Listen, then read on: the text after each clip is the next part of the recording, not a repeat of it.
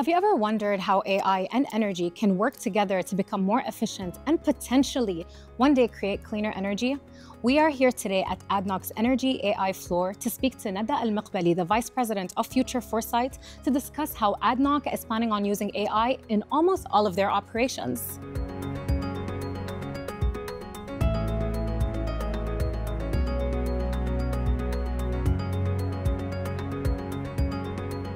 ADNOC is aiming to become the most AI-enabled energy company in the world by 2030. And this means we basically integrate and adopt AI across our value chain from the control room all the way to the boardroom. We know that AI needs energy and as well as we need AI for more efficient process to produce energy. We have a, a target of bringing efficiency in the way we produce our energy as well as uh, lowering our emissions. So we're very focused on producing a cleaner and a smarter uh, energy.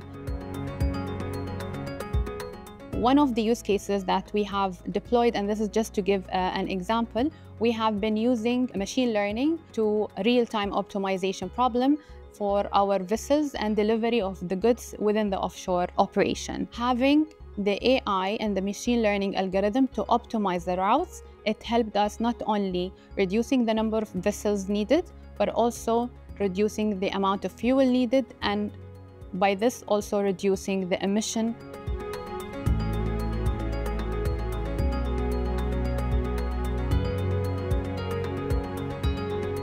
You also told me something that was so intriguing to me, and you said that you have an AI that sits in boardrooms and gives insights. Can you tell me more about this? Okay, so we are in ADNOC very focused as well in introducing agents okay. across our um, operation. Yeah.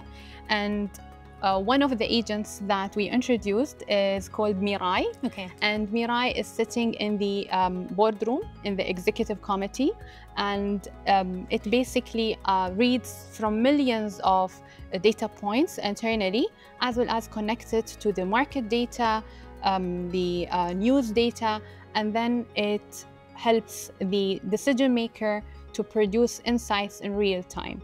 And by this, um, today the AI supports the decision-making uh, process.